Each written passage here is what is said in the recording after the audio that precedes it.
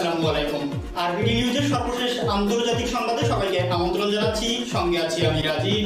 প্রথমেই জেনে নেওয়া যাক, কি থাকছে এখনকার গুরুত্বপূর্ণ সংবাদ শিরোনামে।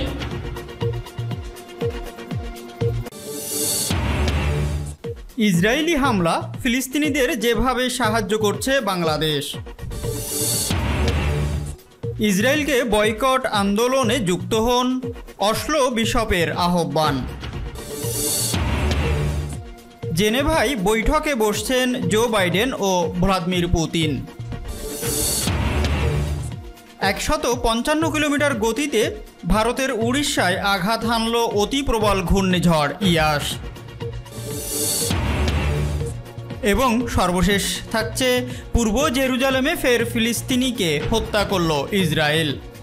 ফিলিস্তিনে আবারও তাণ্ডব শুরু করেছে ইসরায়েলি বাহিনী। ইসরায়েলের এই বর্বর আচরণ থেকে ফিলিস্তিনিদের বাঁচানোর জন্য সমস্ত মুসলিম বিশ্বের এক হওয়া একান্ত প্রয়োজন।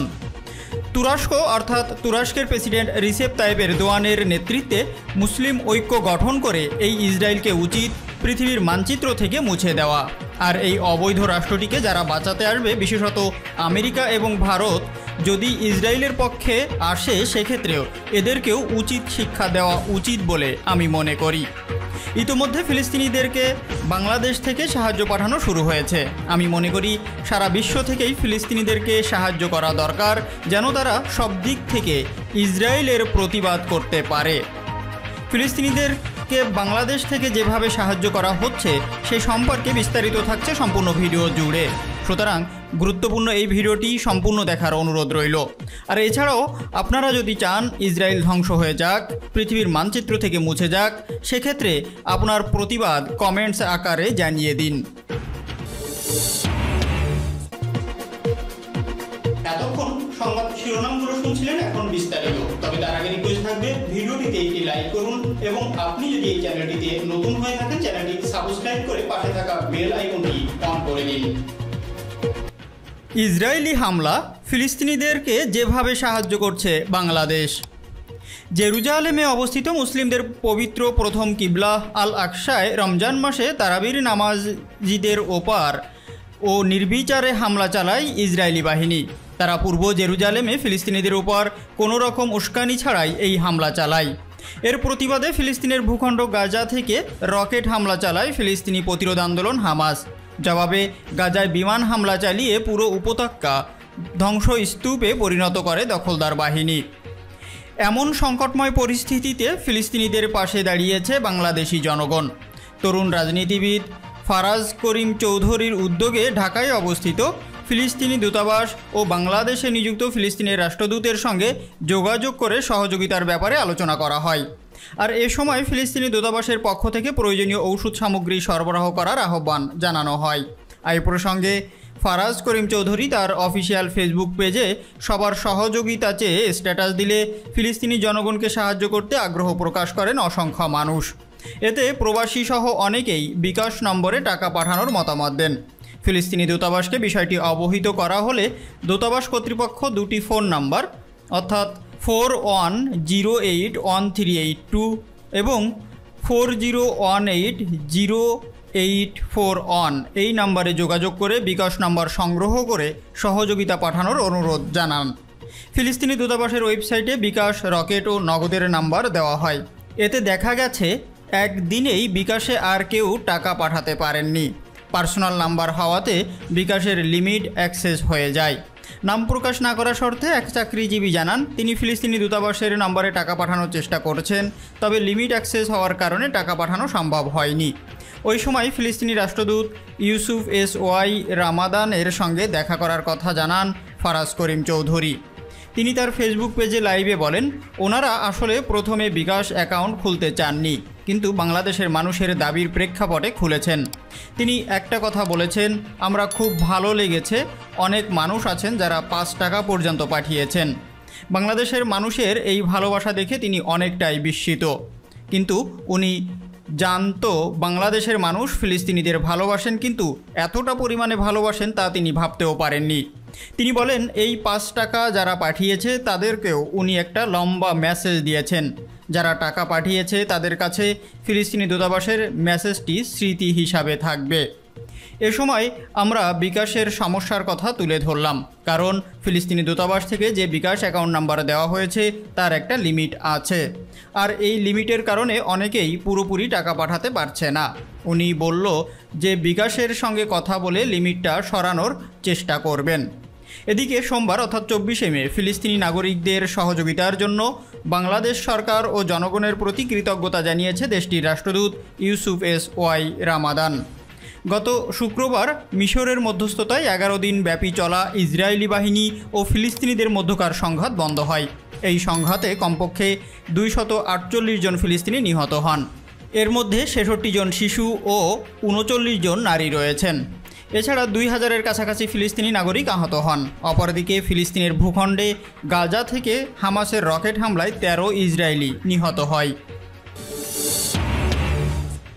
ইসরায়েলকে বয়কটের আন্দোলনে যুক্ত হন অশ্লো বিশপের আহ্বান।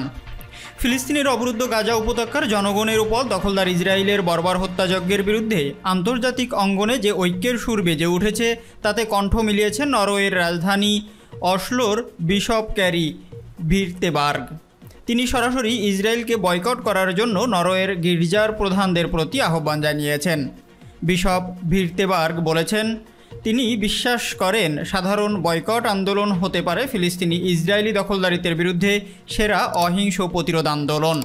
তিনি বলেন, আন্তর্জাতিক আইনের আওতায় ফিলিস্তিনি জনগণের জন্য আর্থিক সহায়তা করার নৈতিক ও আইনি বাধ্যবাধকতা রয়েছে। আমরা নরওয়ের গির্জাগুলোর প্রতি ইসরায়েল বয়কটের আন্দোলনে যুক্ত হওয়ার আহ্বান জানাই। আমরা মনে করি সমস্যার সমাধান ও শান্তি আনার জন্য ইসরায়েল থেকে পুঁজি প্রত্যাহার এবং তেল আবিবের বিরুদ্ধে নিষেধাজ্ঞা আরও ভালো উপায় হতে পারে। গাজা উপত্যকার উপর ইহুদিবাদী ইসরায়েলের সাম্প্রতিক আগ্রাসনের পর বিশপ ক্যারি ভিটেরবার্গ তার ফেসবুক পেজে এইসব কথা লিখেছেন। এছাড়া তিনি একটি ছবি শেয়ার করেছেন যার অর্থ হলো বৃহত্তর অঙ্গনে ইসরায়েলকে বয়কট করা। অবশ্য তার এই আহ্বান কিছু সমালোচনার মুখেও পড়েছে। আসলোর ন্যাশনাল কনজারভেটিভ প্রোগ্রেসিভ পার্টির নেতা ও অসলোর MP Christian Tybring Gjedde bishop ক্যারিকে ইহুদি বিরোধী বলেই মন্তব্য করেছেন। জেনেভায় বৈঠকে বসতে যাচ্ছেন জো বাইডেন ও ভ্লাদিমির পুতিন। মার্কিন প্রেসিডেন্ট জো বাইডেন ও রুশ প্রেসিডেন্ট ভ্লাদিমির পুতিন সুইজারল্যান্ডের জেনেভায় ষোলোই জুন বৈঠকে বসবেন। মঙ্গলবার হোয়াইট হাউস ও ক্রিমলিনের পক্ষ থেকে দুই নেতার বৈঠকের বিষয়টি নিশ্চিত করা হয়েছে। রাশিয়ার বিরুদ্ধে যুক্তরাষ্ট্রের নির্বাচনে হস্তক্ষেপ, সাইবার হামলা মানবাধিকার লঙ্ঘন ও ইউক্রেন নিয়ে উভয় দেশের বিরোধিতার মধ্যেই দুই নেতা মিলিত হবেন। ব্রিটিশ বার্তা সংস্থা রয়টার্সের খবরটি নিশ্চিত করেছে। চলতি মাসের শুরুতে রয়টার্সের প্রতিবেদনে বলা হয়েছিল, বৈঠক নিয়ে রুশ এবং মার্কিন প্রশাসনের খুব বেশি প্রত্যাশা নেই। দুই পরাশক্তি দেশের নেতাদের বৈঠকে কোনো বিশেষ অগ্রগতি আশা করা হচ্ছে না, কারণ দুই নেতার কেউই বিরোধ মেটানোর মতো মনোভাব দেখাচ্ছে না। হোয়াইট হাউসের প্রেস সচিব জেন সাকি বলেন, গুরুত্বপূর্ণ ইস্যু নিয়ে নেতারা আলোচনা করবেন। আমরা রুশ মার্কিন সম্পর্কের স্থিতিশীলতা চাই। ক্রিমলিন তার বিবৃতিটির মাধ্যমেও জানিয়েছে, দ্বিপক্ষীয় বিভিন্ন ইস্যু নিয়ে আলোচনা করবেন দুই নেতা। এইসব ইস্যুর মধ্যে রয়েছে পারমাণবিক স্থিতিশীলতা করোনার বিরুদ্ধে লড়াই এবং আঞ্চলিক সংঘাত। বাইডেনের আগে বলেছিলেন, তিনি চান পুতিন যেন যুক্তরাষ্ট্রের নির্বাচনে রাশিয়ার হস্তক্ষেপের চেষ্টা, সাইবার হামলা বন্ধ, ইউক্রেনের সার্বভৌমত্বে হুমকি বন্ধ এবং বিরোধী নেতা অ্যালেক্সেই নাভালনিকে মুক্তি দেন। হোয়াইট হাউজের পক্ষ থেকে পুতিনের সঙ্গে বাইডেনের সম্পর্ক পুনরায় শুরু করার বিষয়টিও এড়িয়ে যাওয়া হয়েছে। রাশিয়ার সঙ্গে সম্পর্ক উন্নয়ন করার ক্ষেত্রে সাবেক মার্কিন প্রেসিডেন্টরা এভাবে বর্ণনা করতেন। মার্কিন কর্মকর্তারা মনে করছেন, পুতিনের সঙ্গে বাইডেনের মুখোমুখি বৈঠকে সাবেক প্রেসিডেন্ট ট্রাম্পের আমলের অবস্থা পরিবর্তনের সুযোগ তৈরি হয়েছে। রুশ কর্মকর্তারা বলছেন, বাইডেনের কাছ থেকে সরাসরি যুক্তরাষ্ট্রের বক্তব্য জানার সুযোগ পাবেন তারা। কারণ, বাইডেন প্রশাসনের কাছ থেকে তারা বিভিন্ন ইস্যুতে মিশ্র বার্তা পাচ্ছেন। একশত পঞ্চান্ন কিলোমিটার গতিতে উড়িষ্যায় আঘাত হানল অতি প্রবল ঘূর্ণিঝড় ইয়াস স্থলভাগে আশ্রে পড়ল অতি শক্তিশালী ঘূর্ণিঝড় ইয়াস ভারতের আবহাওয়া অধিদপ্তর বুধবার স্থানীয় সময় সকাল নয়টা পনেরো মিনিটের বুলেটিনে জানিয়েছে, উড়িষ্যার বালেশ্বরের দক্ষিণে ইয়াসের স্থলভাগ আশ্রে পড়ার প্রক্রিয়া শুরু হয়েছে। আর এই মুহূর্তে ঘূর্ণিঝড়ের কেন্দ্রের গতিবেগ ঘন্টায় একশত তিরিশ থেকে একশো চল্লিশ কিলোমিটার, যা সর্বোচ্চ একশো পঞ্চান্ন কিলোমিটার পর্যন্ত উঠছে।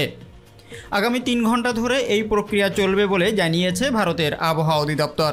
এই মুহূর্তে ধামরা থেকে ৪৫ কিলোমিটার উত্তর পূর্ব, দীঘা থেকে সত্তর কিলোমিটার দক্ষিণ দক্ষিণ পশ্চিম ও বালেশ্বর থেকে পঞ্চাশ কিলোমিটার দক্ষিণ দক্ষিণ পূর্বে অবস্থান করছে ইয়াসের চোখ। ভারতের আবহাওয়া অধিদপ্তর জানিয়েছে, গত ছয় ঘণ্টা ধরে ঘন্টায় সতেরো কিলোমিটার গতিবেগে এগোচ্ছে ইয়াস বুধবার দুপুরের মধ্যে অতি শক্তিশালী ঘূর্ণিঝড় রূপে ইয়াস উড়িষ্যার পারাদ্বীপ ও পশ্চিমবঙ্গের সাগর দ্বীপের মধ্যে উড়িষ্যার বালেশ্বরের দক্ষিণ ও ধামরার উত্তর দিক দিয়ে অতিক্রম করে যাবে বলে পূর্বাভাস। তারপর ঘূর্ণিঝড় চলে যাবে ঝাড়খণ্ডের দিকে। বৃহস্পতিবার দুপুর পর্যন্ত গভীর নিম্নচাপের প্রভাবে উড়িষ্যার বালেশ্বর, ভদ্রক, কেন্দ্রাপাড়া ও জগৎসিংহপুরের মতো উপকূলবর্তী বিভিন্ন জেলায় অতি ভারী বৃষ্টির পূর্বাভাস জারি করা হয়েছে। অতি ভারী থেকে ভারী বৃষ্টিপাতের সম্ভাবনা পশ্চিমবঙ্গের বিভিন্ন জেলাতেও। দুই মেদিনীপুর, ঝাড়গ্রাম এবং দক্ষিণ চব্বিশ পরগনাতেও অতি ভারী বৃষ্টির আশঙ্কা রয়েছে। কলকাতা, হাওড়া, হুগলি এবং উত্তর চব্বিশ পরগনার বিভিন্ন এলাকাতেও ভারী বৃষ্টির সম্ভাবনা রয়েছে। পূর্ব জেরুজালেমে ফের ফিলিস্তিনিকে হত্যা করল ইসরায়েল। টানা এগারো দিন যুদ্ধ শেষে গত শুক্রবার মিশরের মধ্যস্থতায় যুদ্ধবিরতি করে ফিলিস্তিন ও হামাস এবং ইসরায়েল। যুদ্ধবিরতির দুদিন না যেতেই ফের এক ফিলিস্তিনিকে গুলি করে হত্যা করেছে ইসরায়েলের দখলদার সেনাবাহিনী। ব্রিটিশ বার্তা সংস্থা রয়টার্সের খবরে বলা হয়, পূর্ব জেরুজালেমের এক ফিলিস্তিনিকে গুলি করে হত্যা করা হয়েছে। ওই ফিলিস্তিনির বিরুদ্ধে কথিত ছুরিক আঘাতের অভিযোগ আনা হয়েছে। ছুরিকাঘাতের আহত দুই ইসরায়েলির মধ্যে একজন সৈন্য রয়েছে। ইসরায়েলের Magen David Adom ambulance service জানিয়েছে ছুরিকাঘাতে আহত দুইজনের বয়স বিশ এর কোঠায়। তাদের একজন গুরুতর আহত হয়েছে আর একজন হালকা আহত হয়েছেন। ইসরায়েলের জাকা ইমার্জেন্সি সার্ভিস ঘটনাস্থলে সম্ভাব্য হতাহতে কেউ আছে কি না জানতে একজন ক্রু পাঠিয়েছে। হামলাকারীকে গুলি করে হত্যা করা হয়েছে বলে ওই ক্রু সদস্য নিশ্চিত করেছেন। পুলিশ জানিয়েছে, হামলাকারীকে নিরস্ত্র করা হয়েছে। রয়টার্সের খবরে আরও বলা হয়, পূর্ব জেরুজালেমের শেখ জাররা সংলগ্ন এলাকায় এই ঘটনা ঘটে। এই এলাকায় ইসরায়েলি দখলদাররা ফিলিস্তিনিদের বাড়ি থেকে উচ্ছেদ করে, যার ফলে গণপ্রতিবাদ সংঘটিত হয় এবং এরপর হামাস ও ইসরায়েলের মধ্যে এগারো দিনব্যাপী যুদ্ধ সংঘটিত হয়। ইসরায়েলের সেনাবাহিনী জানিয়েছে ছুরিকাঘাতে আহতদের মধ্যে একজন সৈন্য রয়েছে। সামাজিক যোগাযোগ মাধ্যমের পোস্ট করা ভিডিওতে ইসরায়েলি বিমান বাহিনীর ইউনিফর্ম পরিহিত একজনকে দেখা যায়। এতে আরও দেখা যায়, ওই সৈন্য হাঁটু গেড়ে বসে আছে, তার পিঠে আঘাতের দাগ এবং চিকিৎসকেরা তার চিকিৎসা দিচ্ছেন।